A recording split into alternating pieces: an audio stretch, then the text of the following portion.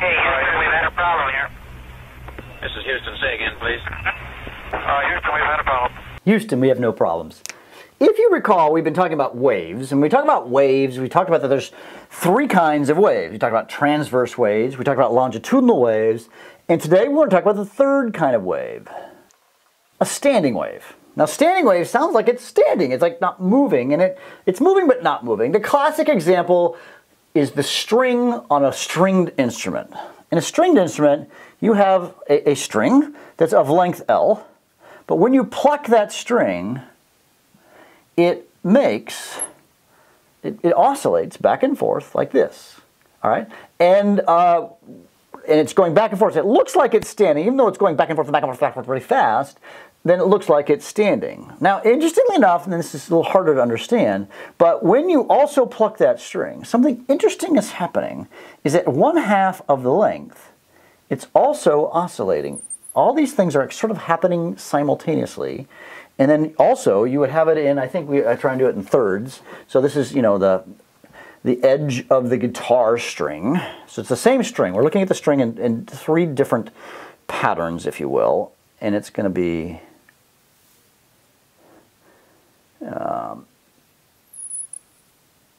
I didn't draw that very well, but it'd be thirds. This should be a thirds, perfectly third. So this will be at one half. This would be a third and two thirds. I didn't draw it very well, but to get the idea.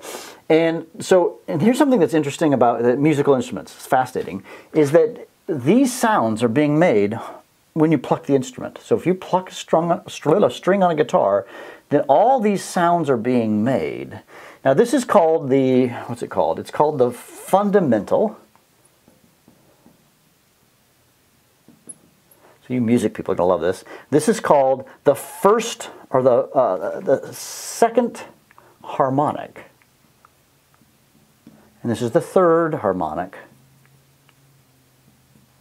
There's also the one that's one fourth, one fifth, one sixth, one seventh, one eighth, and et cetera, et cetera, et cetera.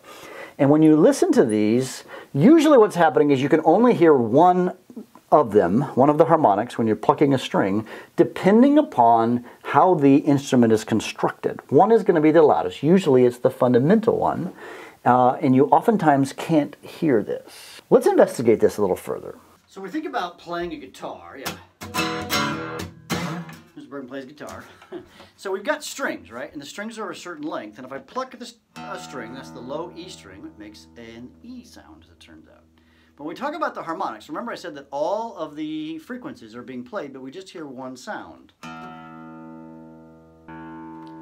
But way to, for me to actually let you hear the harmonic is if I put my finger over the top of the middle. So if, if we measure the length of the string from here to the very end, the very middle is right here. So this is going to be, I'm putting my finger over one of the nodes and listen to the sound. We're only hearing one of the harmonics. So that sound is being played. I can find another one too, listen. I'm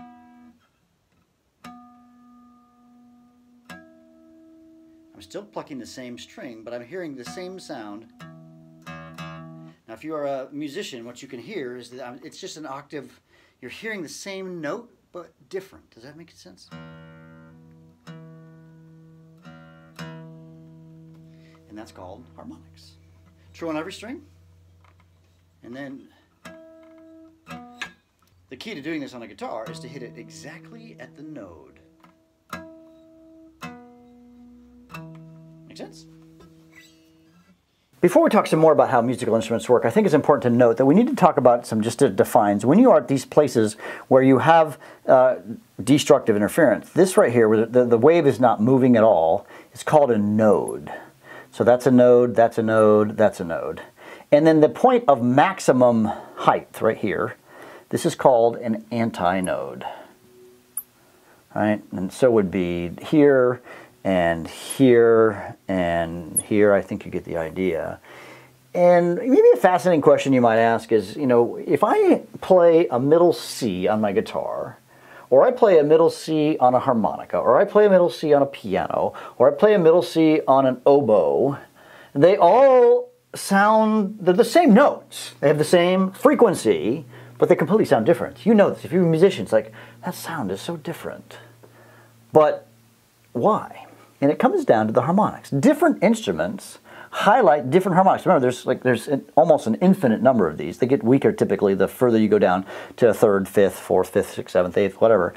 And if you're a good musician, you can't just hear a C, but you can hear a C and you can say that's an oboe, or that's a C and that's a that's a guitar, or that's a violin or a viola or a cello or whatever it might be, because of the way the instrument's constructed, it gives you different. Um, how do I say this? Different uh, emphasis, that's what I'm looking for, emphasis on which harmonic is coming through the most. And, and, and sound is even more complex than that because honestly, we're actually hearing all these sounds together and we hear one sound. Our brain processes it and says one note. But actually, we're hearing like eight different harmonics at the same time, though they are still based upon middle C, if you will, uh, from a note perspective, it's going to be different. One last thing I think it's interesting, we're talking about stringed instruments, is in a guitar, if you know that a guitar works, a guitar, all the strings are the same length. There's six strings, if you don't know the guitars or any stringed instruments. One, two, three, four, five, six. So the lengths of the string are exactly the same, but if I pluck this string, this is low frequency and low sound, and this is a high sound. Turns out this is an E, by the way, and this is an E, but this is an octave higher. And uh, what's different is this is a thicker string and this is a thinner string. All right, and so what causes them to make different notes? Well, the thicker one vibrates slow, slower. So it produces a lower tone because the the uh, the frequency that the the string makes is a function, a mathematical function of the thickness of the string, the length of the string. But in a guitar, they make the length of the string the same. True on a violin, etc., etc.